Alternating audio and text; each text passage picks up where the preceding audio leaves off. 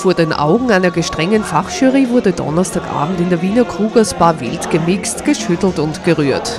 Jeder einzelne Cocktail musste im Anschluss probiert und bewertet werden. Eine verantwortungsvolle Aufgabe, schließlich galt es, den Barmann des Jahres zu finden. Es hat einen drei Runden gegeben. Eine Runde war mit äh, Sekt, die zweite Runde war mit Wodka und die dritte Runde war Freestyle.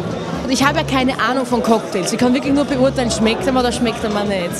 Sie mussten, glaube ich, neun Cocktails probieren. Wie geht's Ihnen? Mir geht's gut, ich habe von überall nur genippt. Also man, man, wenn ich die alle hätte trinken müssen, dann wäre ich am Weg ins AKH wahrscheinlich. Tag, du hast gerade neun Cocktails bewertet. Wie geht's dir? Naja, ich kann mich jetzt Gott sei Dank anlehnen. Es geht mir gut. Etwas übersüßt, sagt man das so, aber es war, die waren wunderbar, großartig. Wie viel Zeit hattet ihr? Ich glaube 15 Minuten. Also so schnell habe ich noch nie so viel getrunken. Was ist Ihr persönlicher Lieblingscocktail? Ich kann da wirklich nur sagen, ich habe gar keinen jetzt. Früher hat es gegeben ein Lokal, das hat Trader Wix geheißen. Und da hat es gegeben den Trader Wix Special. Da war ich so 19 ungefähr. Und das einzige Ziel war, damals mit möglichst wenig Geld in möglichst kurzer Zeit betrunken zu werden. Und der Trader Wix Special war so, dass er äh, sehr günstig war und man war innerhalb von einer, sagen wir, halben Stunde sehr betrunken und das war damals, bevor ich 20 Jahre alt war, mein Lieblingscocktail. Können Sie sich erinnern, ob er geschmeckt auch hat? Nein. Die Ansprüche wurden mittlerweile natürlich in die Höhe geschraubt. So wurden an diesem Abend auch die Kreativität, der Mut zur Innovation und die Professionalität bewertet. Nach welchen Kriterien haben Sie denn heute bewertet? doch nach dem, was am meisten Geschmack und Alkohol hatte, weil die anderen waren ja Gesundheitsdays.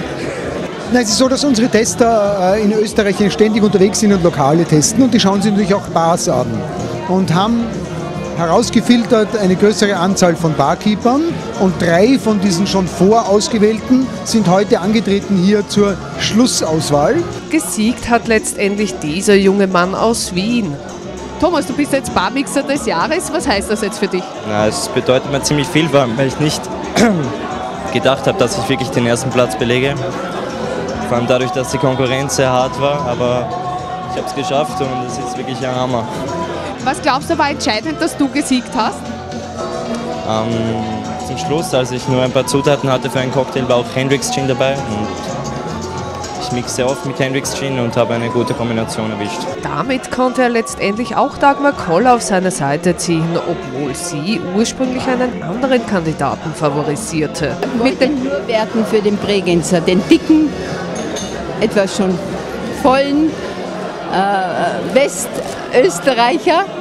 Aber nachdem er am Schluss so ein fades Getränk geschickt hat, haben wir gedacht, der, der mit Herzklopfen gezittert hat am ganzen Leib, der noch die Karriere vor sich hat, habe ich für ihn dann eine 6 gegeben. Also es, ist, es hat ein bisschen äh, das Herz mitgewotet bei Ihnen? Absolut, ich, bei mir ist immer das Herz dabei. Vergeben wurde die Auszeichnung von Top Spirit und Go Milio gemeinsam mit der österreichischen Barkeeper Union.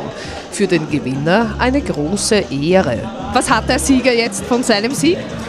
Na, erstens einmal wahrscheinlich, wenn ich mich ein bisschen hier umschaue, relativ viel PR und PR ist sehr viel wert.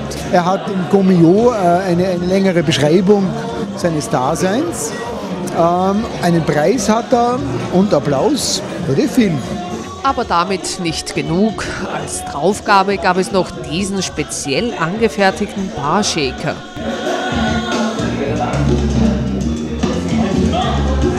Hey, Thank you.